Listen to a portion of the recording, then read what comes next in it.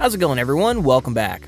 So a lot of you guys have been asking me about Nord's double VPN specialty servers, so I decided to make this video to show you guys how this feature actually works and when you should use it. Not only that, but I'll briefly go over some of the other specialty servers and security features so that you can have a solid idea of how these things work and how you should use them. Now, I won't go into too much detail as I want to make this video rather short. So if you'd like to know more about Nord, you'll find an in-depth review in the description down below, and if you're considering getting yourself a Nord subscription, you'll also find a special discount code there as well. Alright, so starting with Double VPN. It's basically an advanced security feature that routes your connection through two VPN servers instead of one. So once you establish a double VPN connection, your online activity will be encrypted twice, and you'll essentially be hiding behind two VPN servers instead of one.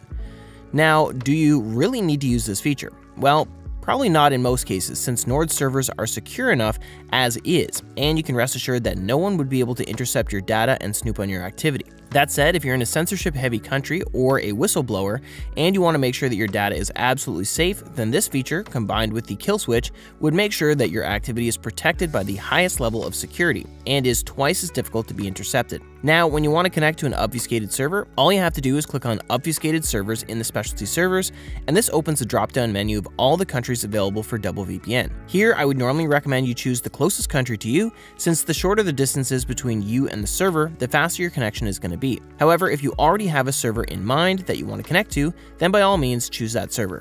Okay, so once you're connected, you're going to notice on the top left corner, it shows that you're connected to two servers. One is the server of your choice, and the other is usually a server in a nearby country. Alright, so this is basically everything you need to know about Double VPN. Now let me quickly go over the other specialty servers so you can have an idea of when and where you should use them. Starting with obfuscated servers. These are specialized VPN servers that hide the fact that you're using a VPN to reroute your traffic, and they allow you to connect to a VPN even in heavily restrictive environments. Basically speaking, when you connect to a regular VPN server, your ISP can't see where you go online, but it knows that you're using a VPN from the way your data looks. However, if you connect to an obfuscated server, it changes your data packets so that the tools that are meant to block VPN traffic will let it pass. And an example of where this could come in handy would be schools and workplaces with a lot of network firewalls. And this could also be very useful in heavy censorship countries where even using a VPN could cause you trouble by your ISP. Okay, moving on to Onion over VPN specialty servers. These ones offer an extra layer of security by combining the anonymity of the Onion network with the protection of a VPN.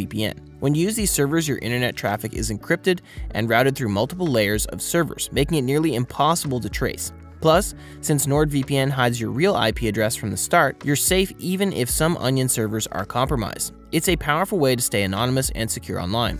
Next, you're going to have the peer-to-peer -peer specialty servers, which are optimized for secure and fast file sharing through torrenting. These servers allow you to share large files over the internet with enhanced privacy and speed. That said, you don't really need these servers since Nord's normal servers are perfectly fine for torrenting. It's just an extra thing that's nice to have. And last but not least, you've got dedicated servers, which would give you an IP address that only you can use. This would make sure that you have high speed and private access to the server, especially when you need a stable and exclusive connection for your online activities. However, keep in mind that this is a paid add-on, and you won't get this with your regular Nord subscription. Now, jumping over to some powerful security features you should know about, you've got the kill switch, which would automatically sever your internet connection should you accidentally disconnect from the VPN server, and by doing this, it would make sure that none of your data would be accidentally leaked over to your ISP or anyone else snooping on your connection. And as an added bonus, you'll also get an app kill switch, which would shut down selected apps when you disconnect from the VPN server instead of severing your whole connection. You also get the split tunneling feature, which allows you to choose which applications go through the VPN tunnel and which ones use your regular connection. And just to give you an example, you can have your torrenting app be protected by the VPN connection, while the rest of your applications use your regular internet connection. Besides that, you've got threat protection, which acts as a mini antivirus, as it blocks ads, trackers, and malware-ridden websites while you're browsing the internet. And it also monitors your downloads to make sure that you're not accidentally downloading any malware. You've also got the dark web monitor that scans the dark web for your personal information and alerts you once it finds anything so you can take quick action.